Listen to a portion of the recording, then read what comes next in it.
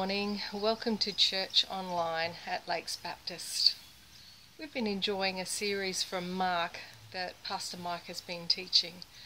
Jesus wasn't anything like they expected, was he? And sometimes I find myself wondering what would he be like if he turned up here today? Would we even recognize him? Food for thought. I hope you enjoy our service this morning.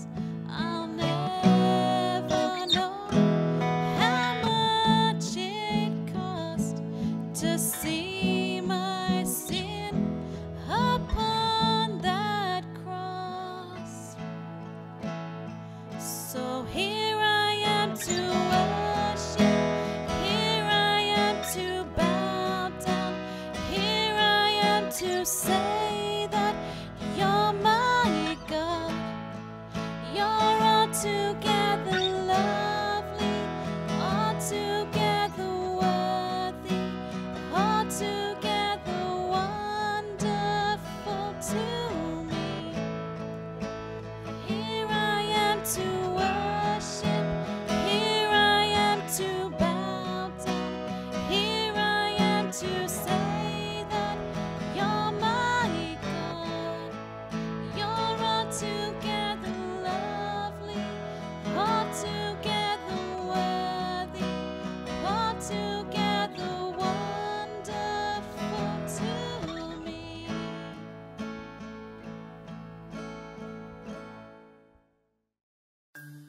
The story of Christmas.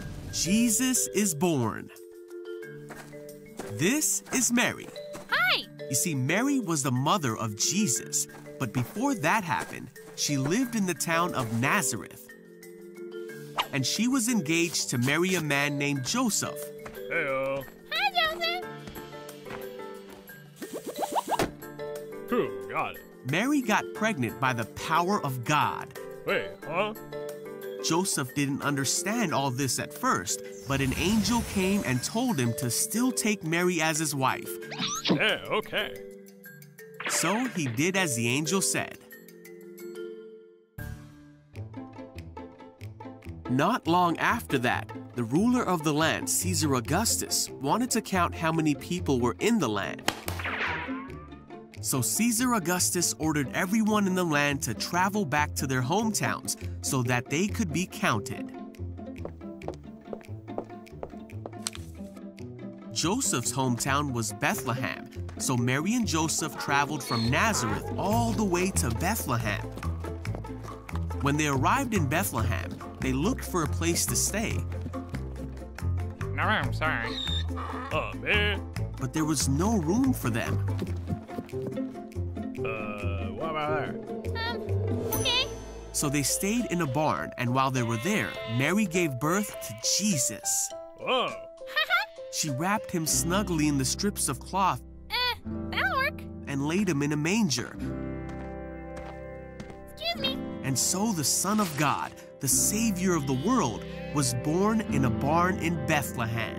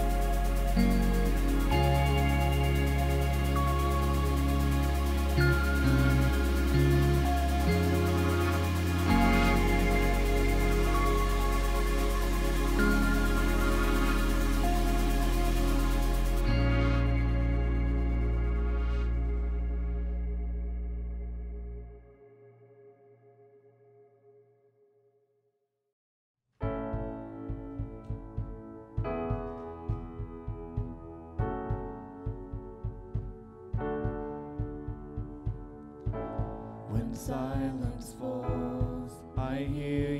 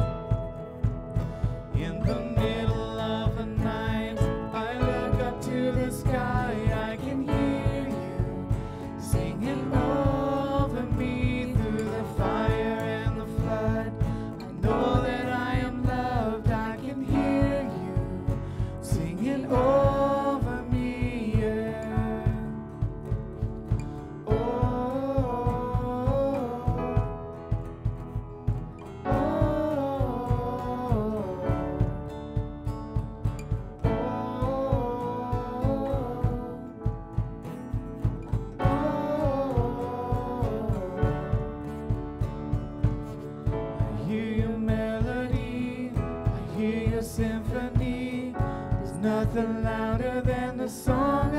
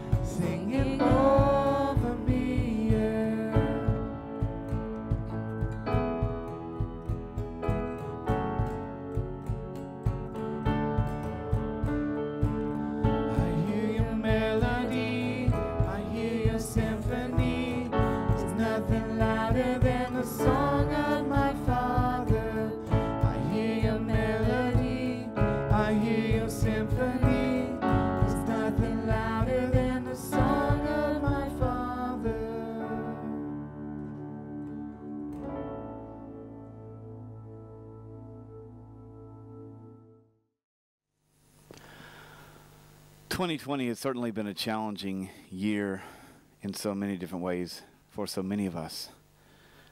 I reckon one of the most challenging things has been having to constantly hear about sickness, about pain, about suffering, and about death. We've had to hear more about emotional suffering, financial struggles, family separation, mental health challenges, disease, and death this year more than most of us have in our lifetime.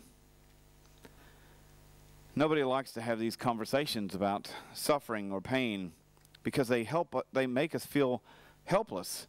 Uh, they leave us longing for hope, uh, yearning for peace, security, and abundant life. Well, the final parts here of uh, the book of Mark that we're going to cover both today and next week will reveal betrayal, loss, great loss, immense pain, incomprehensible suffering, and yes, even death. It's okay if it makes us want to look the other way, or uh, it makes us want to look away, or it forces us uh, to look for hope, to long for something more, because the end of the story you will find is one of great hope and great promise. This week we will see Jesus arrested, put on trial, and sentenced to death. We will see those closest to him fall away and hide in shame. Next week we will see Jesus crucified, dead, and buried. But the story ends with Jesus alive for all to see and ascending to heaven to sit at the right hand of God. This is a story of sacrifice. It is a story of hope. It is a story of love. It is a story of salvation, a story of a gift. God giving his son Jesus to die on the cross for our sin, my sin, your sin, and then raising him to life again, offering to anyone who accepts it eternal life. Let me just begin with a word of prayer. Dear Heavenly Father, I thank you and I praise you for the precious gift of your word and for opportunities to work our way through it together as your church. Help us, Lord, to be faithful stewards to your word, to read it every day, to follow, and to allow your spirit to guide our hearts, draw us ever closer to you. Teach us more of you and your great love for us, and help us to live that out in our everyday lives. To be your church. In Jesus' name we pray. Amen. Turn with me, if you will, to Mark chapter 14. We'll be looking in uh, Mark chapter 14 and some in Mark chapter 15 today. And so keep your copy of uh, God's Word open there. Mark chapter 14, beginning verse 43 to 52. I'm not going to read this for you. I'll just kind of talk about this a little bit.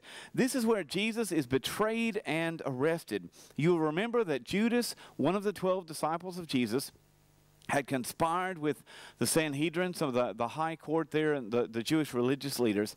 Judas had inspired, conspired with them to betray Jesus for uh, some money.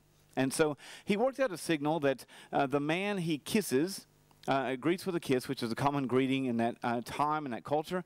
The man he greets with a kiss will be Jesus, and they are to arrest him. And so Judas goes up uh, and approaches Jesus. Jesus has just been praying in the Garden of Gethsemane.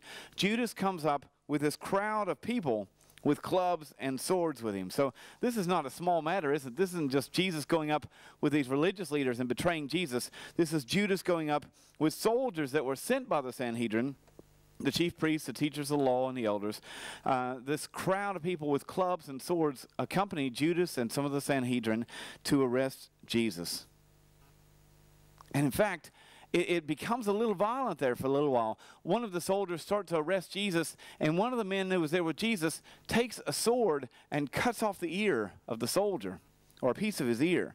Now, we're not sure who that man is from, from Mark's gospel, but John's gospel, chapter 18, verse 10, uh, says that it was Peter who took a sword and took a swing at the soldier whose name was Malchus. Now, Malchus, he, Peter was probably swinging for his head, and Malchus took a, a duck, uh, but Peter still cut off a piece of his ear. Jesus walks up to Malchus then and heals his ear. What an amazing story. Then the way they came for Jesus is like something that it's a way that they would come for someone who is an insurrectionist or a murderer, uh, someone who is a common thief or someone who is a real troublemaker. But Jesus says to them, I was always with you in the temple and the community. The Sanhedrin, he says, I was with you all the time. You could have arrested me uh, peacefully, but you come to me with swords uh, in this way. And then Jesus says, But you've come to me this way so that Scripture will be fulfilled. Well, what is that talking about? Well, I'll tell you. It's talking about Isaiah 53, verse 12, that says, He was numbered among the transgressors. Zechariah 13, 7 says, They will bring a sword against my shepherd, and my sheep will scatter. And verse 50 uh, definitely says that. So this is as arresting Jesus. Verse 50 says, All those who were with Jesus, everyone who was with him, deserted him and fled. Absolute abandon.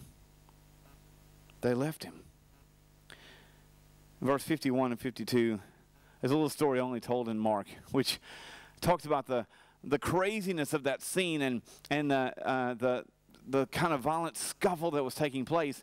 And uh, Mark describes a man who was not wearing any underwear. He was not wearing anything under his robe, which was not very common. Uh, commonly, he'd wear undergarments and then the robe. This man was only wearing a robe, and when he, when Jesus was arrested, he tried to get out of there. Someone grabbed his robe, and he got that thing off there. He got out of there and had to flee naked. Now, only Mark tells the story, and it's believed, commonly believed by theologians that uh, this man who uh, he's talking about was probably Mark himself. Like he's saying, I was there. I saw this happen. Interesting story, isn't it? But Jesus then is brought before the Sanhedrin, this um, uh, kind of a high court, uh, the religious leaders. It was the chief priests, uh, the teachers of the law, and the elders make up the Sanhedrin. And in chapter 14, verses 53 to 65, we see a story of Jesus being brought before this Sanhedrin. And they were looking for any evidence they could to try to kill Jesus, to put him to death. But they couldn't find anything. He had never done anything wrong. In fact, they had a number of witnesses that brought false statements against, against Jesus, but none of these statements matched, and so they couldn't use those. They had to throw those out. Then they had people starting to stand up and giving testimony, saying, This man said he's going to destroy the temple, and in three days he's going to build it back himself. But even their own testimonies didn't match, and so it wasn't enough. And the, one of the chief priests, uh, sorry, the chief priest then asked Jesus, Are you not going to respond to any of these accusations? You haven't said anything yet. And Jesus remained silent. The high priest then looks to Jesus and he says, Look, are you the Messiah, the Son of God? Are you the Messiah, the Son of God? And Jesus replies, I am and you will see the Son of Man, which is Jesus. You will see Jesus sitting at the right hand of God, uh, of, sorry, the right hand of the mighty God, and coming in clouds of heaven. Now, at this, the high priest tore his, his, his clothes or his outer garments, which is a sign of, of mourning, a sign of torment. And he accused Jesus of blasphemy. Now, what is that about? Well, the, the word for blasphemy in the Old Testament always meant an insult to God. In the New Testament, actually, in these times, it actually could be uh, um, mocking or degrading of anyone. But uh, in, in this particular case, you know, John uh, 10 33 says, it's because they're saying, You, who's being human, claim to be God. You're claiming to be something that is impossible to be. You could not be God. And so, by claiming the nature of God, Jesus was committing blasphemy. And they said, You've heard it right here. We don't need any other testimony. You've heard it. This man says the impossible. He says he is God, he is God's Son. And they immediately, everyone who was there, condemned Jesus to death. Some of the crowd coming, sorry, coming up, and they spat on Jesus. I don't know if you've ever had that happen before. I have, and, and I, I um, found it very challenging not to strike back. If someone comes up and spits in your face, it's ultimate insult, and the first instinct is to take a swing. But Jesus remained silent. Jesus didn't fight back. As men came up and they spat on him, then they blindfolded him and they started punching Jesus and punching him, saying, Tell me, prophet, who was it that hit you? And then guards took Jesus away and continued to beat him. Then we find a story of Mark chapter 14, verse 66 through 72. Now, Jesus' prediction about Peter comes true. You see, if you remember uh, earlier in chapter 14, verses 27 to 31, Jesus has a conversation with Peter, doesn't he? He says, Peter, you're going to deny me. Peter says, Not me. Not me. I will fight for you. I will stand by you. And Jesus says, Oh, Peter, before the rooster crows the second time, the, uh, before the rooster crows in the morning, you will have denied three times you even know me. And Peter says, Not me, Jesus. I will die for you. Well, here we see a story as Jesus is standing before the Sanhedrin. So uh, when Jesus was arrested, Peter fled, he got out of there. And when Jesus is taken up to the Sanhedrin, uh, Peter watches from a, a nearby court, or a distant courtyard. And while he's warming himself by the fire in the courtyard, a young girl who's, uh, who's a servant of the high priest comes up and she recognizes Peter. And she says, Hold on, you're with him. You're with Jesus. And Peter says, I don't know what you're talking about. I'm not the man you're, you're thinking about. And then um, some others come up to him. Uh, some of the crowd that's talking to him said, "You, you are, you are, uh, you are Jesus. You're one of those guys." And again, it denied him again. It said, "I don't know Jesus. I'm not with Jesus." Then the crowd started saying to Peter, You are a follower of Jesus. And Peter got really upset. And he said, He's not with Jesus. And in verse 72, if you look at it, it says, Immediately after that third denial, immediately the rooster crowed. And Peter remembered the words of Jesus. I bet he did. And Mark's gospel says Peter broke down and wept. Boy, I think that's an understatement to denied Jesus, forsaken Jesus, he bowed down and he prayed and he wept.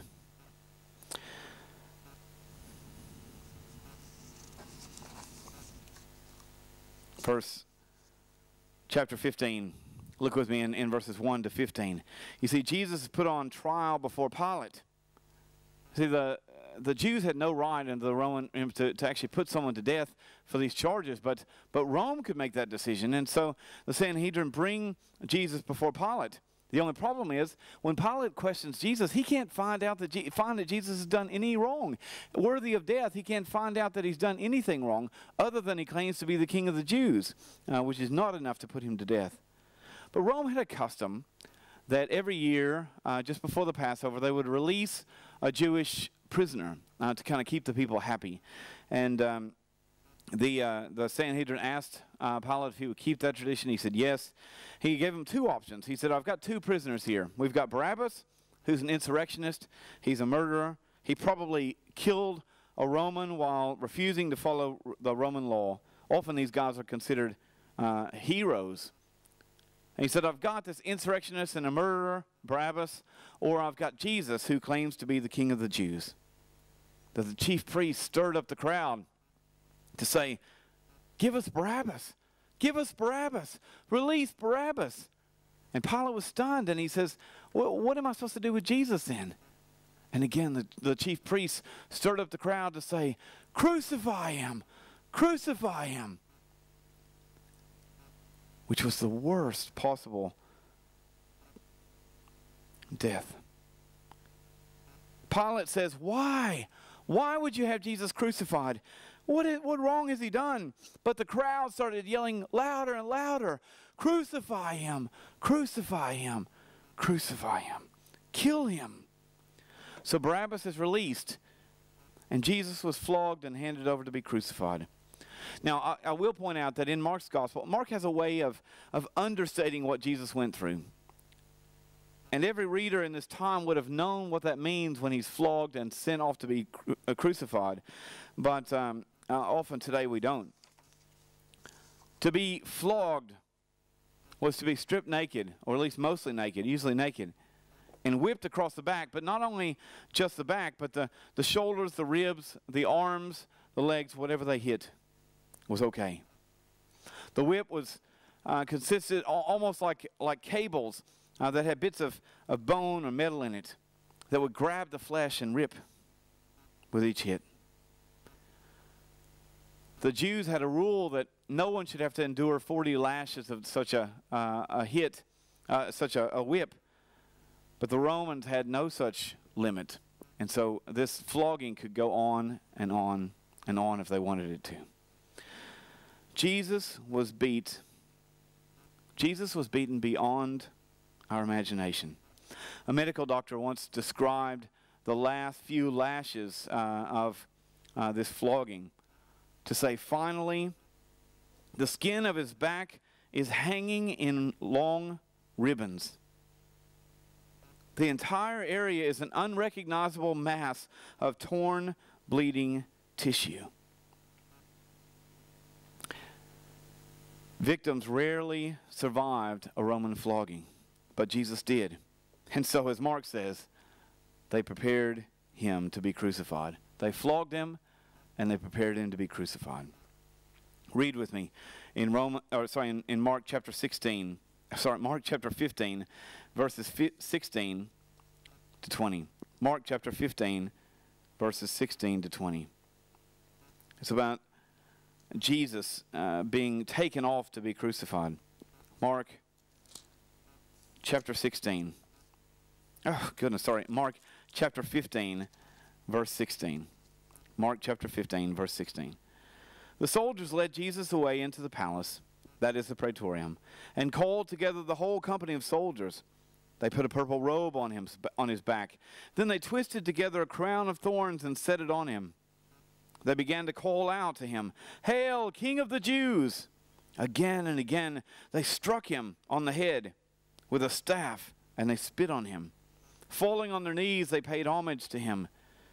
And when they had mocked him, they took off the purple robe and they put on his own clothes and they led him off to crucify him. The whipping of Jesus took place in public view, but here the soldiers take Jesus away to more of a private courtyard. Then they call in all the other soldiers and they start to mock him. They take a robe, probably one of their own Roman robes uh, that had faded a little bit and was more of a, a purple color. This purple was a color signifying uh, royalty. And they put this purple robe on Jesus' back, which was bare strips, remember, of, of, uh, of torn flesh.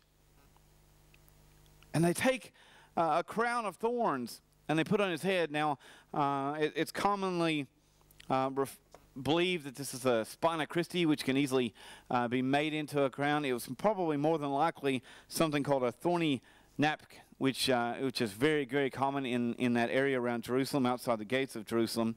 Either way, it's something that could easily be bent into a crown and it had long spikes. Many of them had spikes this long that, that went down into his head. Now, this was although it, it, would have caused great pain, it's something that was probably not meant to cause pain, but uh, to just mock Jesus as a crown mocking the king. And they struck him over and over with a wooden staff. They struck him over and over in the head with a wooden staff. Imagine that. And as they struck him, they mocked him. So tell me, which of us was it that hit you? And they mocked him and they mocked him. And then they bowed down and paid homage, it says, a fake worship to this king. They couldn't imagine that this gentle, humble Jew was claiming to be a king. And they beat him and they spat on him and they, they, they smacked him in the head with a, uh, this wooden staff. And then they took all this off of him, put his own clothes back, and then led him back into the public view to be crucified. They led him away to be crucified. We'll continue talking about the crucifixion, the death, the burial, and the resurrection of Jesus next week. But this Christmas, I want us to remember more than just a baby born in a manger, but to know that this baby is Jesus Christ, our Savior. He was sent by God to pay the price for my sin, for your sin. Isaiah 53 4, the prophet says, He took up our suffering, He bore our pain. By His stripes, by those lashes, by His wounds, we are healed. It was always God's plan, ever since the fall of man. Because God loves you, because God loves me, and He wants to spend eternity with us. Remember, Jesus went through all of this suffering so that you don't have to. Sin leads to death and to hell, but life, life that Jesus offers gives peace, love, forgiveness, eternal life with God because of God's love for you. Let's pray.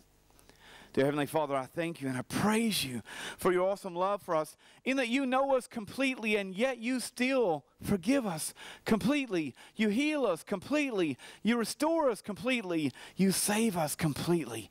Thank you, Lord, for your grace. Thank you, Lord, for your mercy. Thank you, Lord, for the sacrifice of Jesus. May we celebrate that all and, and your love for us this Christmas. In Jesus' name we pray. Amen. Thank you.